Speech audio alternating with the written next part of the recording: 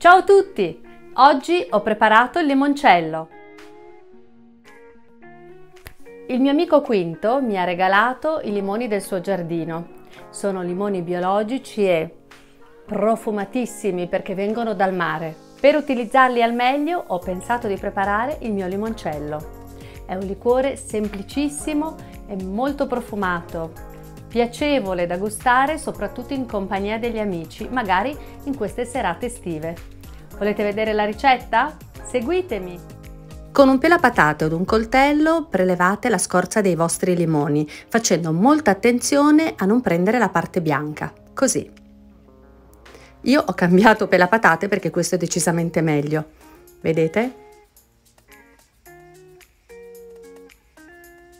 Ecco qui l'ultimo.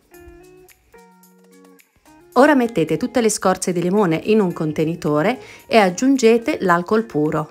Vi avviso che questa non è una ricetta leggera e particolarmente alcolica. Chiudete bene ermeticamente.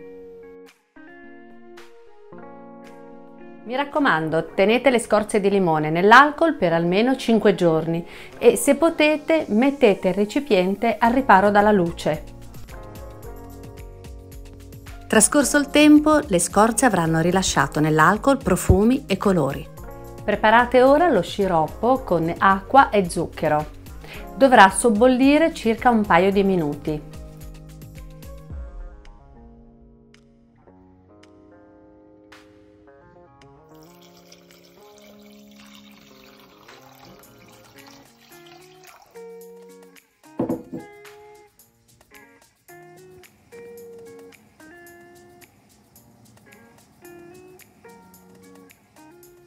Toglietelo dal fuoco e fatelo raffreddare. È il momento di unire l'alcol profumato dalle scorze del limone allo sciroppo, quindi con l'aiuto di un colino filtrate tutto. C'è chi aromatizza questo liquore con delle spezie, io non lo faccio perché voglio che risalti solamente il profumo del limone. Guardate che bel colore e dà un profumo davvero irresistibile. A questo punto non vi resta che travasare il liquore nelle bottiglie che avete scelto. Ed ecco qui, la prima è pronta.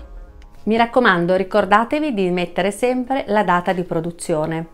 Questa la potrete apporre su etichette che potete scaricare sul web oppure farvi aiutare dai vostri figli e magari crearle in casa. In questo caso mi è venuta in aiuto Elisa, lei è bravissima a disegnare.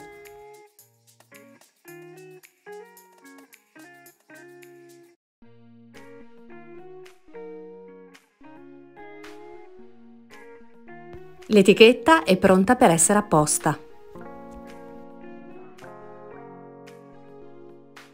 Ecco qui una bottiglia di limoncello. Prima di gustarlo dovete tenerlo a riposo ancora 15 giorni, poi via nel freezer e condividetelo in compagnia.